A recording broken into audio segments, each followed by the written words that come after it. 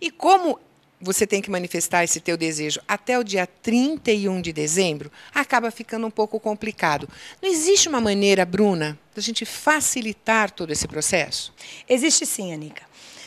No ano de 1999, uma deputada chamada Ângela Guadanin, do Partido dos Trabalhadores, propôs um projeto de lei na Câmara dos Deputados que visa emendar o artigo 260 do Estatuto da Criança e do Adolescente. Olha, lá em Brasília, descobri que este projeto está parado. Passou e foi aprovada em algumas comissões e eu entrei com um requerimento para que esse projeto fosse incluso na ordem do dia, o que significa ir à votação no plenário. Esse projeto visa facilitar para o contribuinte. No momento que se faz a declaração do imposto de renda, haverá um campo aonde você poderá manifestar o seu desejo de destinar parte dos seus impostos para a obra social. Eu achei maravilhosa essa iniciativa da nossa deputada Bruna Furlan. Esse projeto estava desde 99 e agora ela chegando em Brasília viu e, realmente por todo esse grande comprometimento com a, com a ação social, ela foi impossível isso ficar parada. Então prestem atenção. Está existindo agora todo esse trabalho da Bruna para que esse projeto seja colocado na ordem do dia. Em, em sendo colocado na ordem do dia, você acha que nós podemos ter aprovação disso já em 2012? Ah, com certeza, Nica. Eu, eu tenho certeza que todos os deputados têm a mesma intenção. Então, acho que vamos trabalhar junto para que a gente possa viabilizar a aprovação desse projeto para que não mais seja manifestada a vontade no dia 31 de dezembro, e sim no momento em que a pessoa física ou jurídica faça a sua declaração do imposto de renda. E é assim, ela chegou em Brasília, já começou a ver, analisar, mexer com todo mundo. Nos dê só uma pincelada, porque eu sei desse teu grande empenho agora com relação ao, ao, ao FUNCAD, mas nos fale um pouquinho a respeito do que você está já levando de projeto de lei, quais são as suas movimentações? Olha, Nica, já apresentei mais de 10 projetos. Tem um muito interessante, que é um cadastro positivo de bons condutores. Se o motorista não tem pontos na carteira nos últimos três anos, na compra do seu automóvel, ele tem um desconto de 10% sobre o IPI.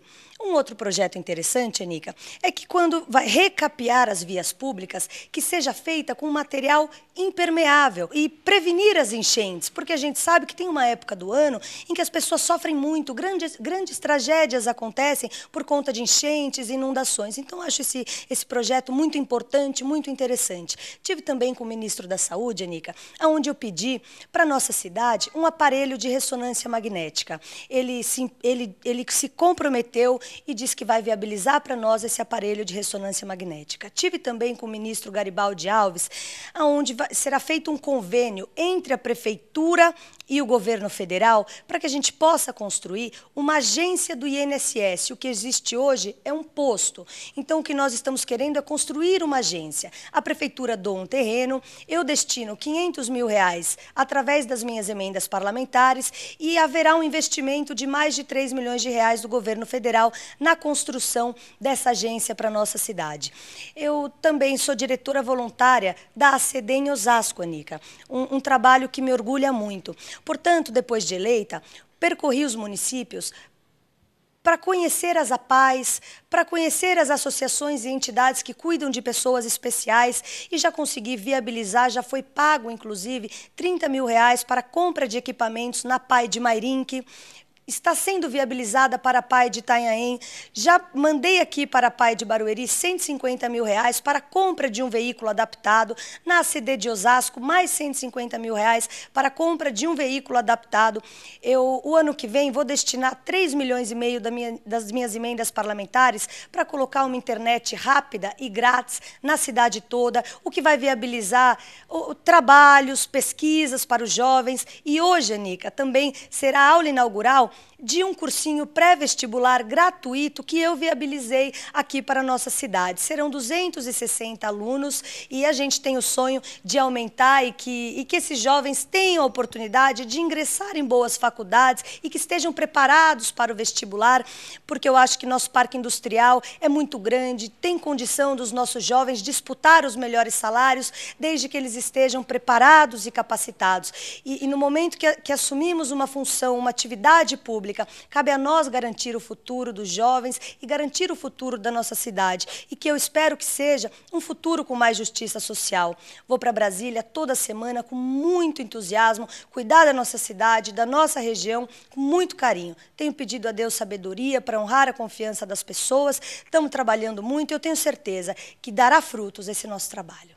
Adorei essa grande mexida que você está fazendo lá em Brasília. Eu acho que realmente é resgatar, não é? Tantos bons projetos olha, que estavam parados e de repente você vai lá e pega e fala por que isso não foi aprovado até agora? Então, em 2012 nós teremos sucesso aí, teremos esse grande facilitador em já podermos declarar no nosso imposto mesmo, ter lá o, o campinho para a gente declarar. Obrigada, minha querida, e eu quero te receber mais vezes no programa, viu? porque eu sei que tem muitas coisas aí para você nos contar.